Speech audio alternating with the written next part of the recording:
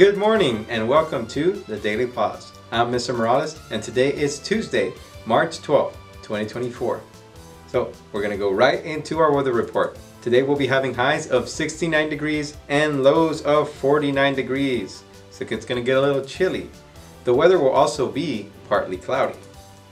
For our nutrition report, for lunch we are having teriyaki chicken bowl and for breakfast tomorrow we're having bean and cheese burritos or cereal. And don't forget, first and second awards assembly will be tomorrow at 8.30 and also is our family math night. So that will be from 4.30 to 6 p.m. Hope to see you there. Oh, looks like I'm needed. That's all for our news today. Uh, thank you for joining us and hope to see you soon. Bye.